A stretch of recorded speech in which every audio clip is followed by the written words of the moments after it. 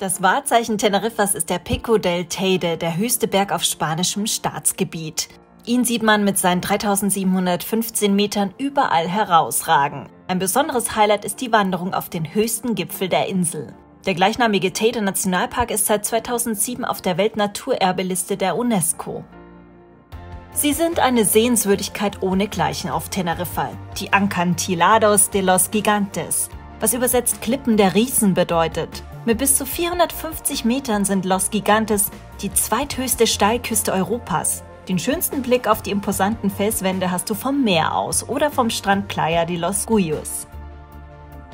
Im imposanten Tenno-Gebirge warten mit dem Örtchen Masca und mit der Masca-Schlucht gleich zwei tolle Sehenswürdigkeiten auf dich.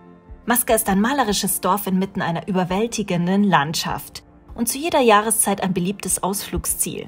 In Masca startet auch die spektakuläre Wanderung durch die Masca-Schlucht.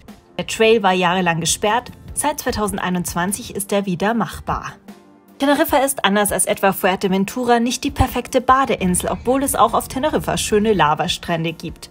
Wenn du aber einen weißen Karibikstrand mit Palmen suchst, dann bist du an der Playa de las Teresitas, nördlich des Ortes San Andrés, richtig. Der knapp zwei Kilometer lange Strand wurde Anfang der 70er Jahre mit weißem Saharasand aufgeschüttet. Eine Sehenswürdigkeit der ganz anderen Art ist der Drago Millenario. Das Alter des Drachenbaumes liegt bei 300 bis 800 Jahren. Es ist ein Nationaldenkmal. Du findest den mächtigen Drachenbaum in Icod de los Vinos im Nordwesten der Insel. Besonders gut hat uns die Innenstadt von Puerto de la Cruz gefallen. Bunte Häuschen, Graffiti und unzählige Restaurants haben uns begeistert. Das kleine Städtchen La Orotava gehört zu den schönsten und ursprünglichsten Orten Teneriffas. La Orotava blickt auf eine jahrhundertlange Geschichte zurück. Und das sieht man der unter Denkmalschutz stehenden Altstadt an. Es macht einfach Spaß, durch die schönen Gassen mit den historischen Gebäuden zu schlendern. Im Nordosten der Insel befindet sich der Playa de Benicho. Für uns ist der Benicho Beach der imposanteste Strand der Vulkaninsel. Zum Baden ist der Playa de Benicho nicht geeignet wegen der hohen Wellen und der starken Strömung. Ein weiteres Highlight ist das Anagar-Gebirge. Wenn an der Küste die Sonne brennt, liegt der Landschaftspark Anagar im Nordosten Teneriffas vielleicht sogar im Nebel. Dieser mystische Lorbeerwald ist eine der schönsten Sehenswürdigkeiten der Insel. Besonders gut wandern kannst du im Naturreservat El Picharal. Auch die Bergdörfer sind sehr sehenswert. Die Altstadt von La Laguna gehört zum UNESCO-Weltkulturerbe und verzaubert dich mit vielen historischen und architektonischen Schätzen. Schlendere durch die Altstadt und genieße das Flair. Hier gibt es zahlreiche Cafés und Restaurants. Die Hauptstadt von Teneriffa heißt Santa Cruz. Besonders die Plaza de España mit ihrem Wasserbecken und unzähligen Blumen lohnt einen Besuch. Das Auditorium, das Auditorio de Tenerife, ist ein abgefahrener Bau und erinnert an das Opernhaus in Sydney.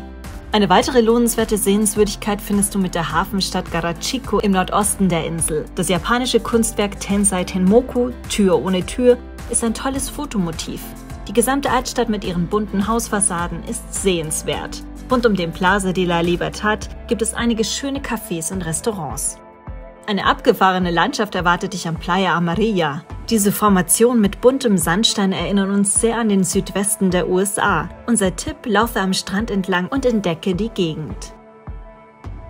Dieser Steinbogen liegt inmitten einer ebenso schönen Landschaft. Noch ist er nicht sehr bekannt, er ist ebenfalls ein tolles Fotomotiv und lohnt einen Besuch. Die Punta de Tenno ist die westlichste Spitze der Insel Teneriffa. Wir haben uns E-Bikes ausgeliehen und sind damit bis zum Leuchtturm gefahren. Die Alternative wäre Laufen. Dort erwarten dich ein Piscina Natural, kleine Boote und ein herrlicher Blick auf die Los Gigantes. Die Barranco del Infierno ist eine bemerkenswerte Schlucht. Du darfst hier nur mit Helm wandern. Es erwartet dich eine tolle Landschaft, Tiere und das Highlight ist ein Wasserfall am Ende der Schlucht. Diese Tour hat uns sehr gut gefallen.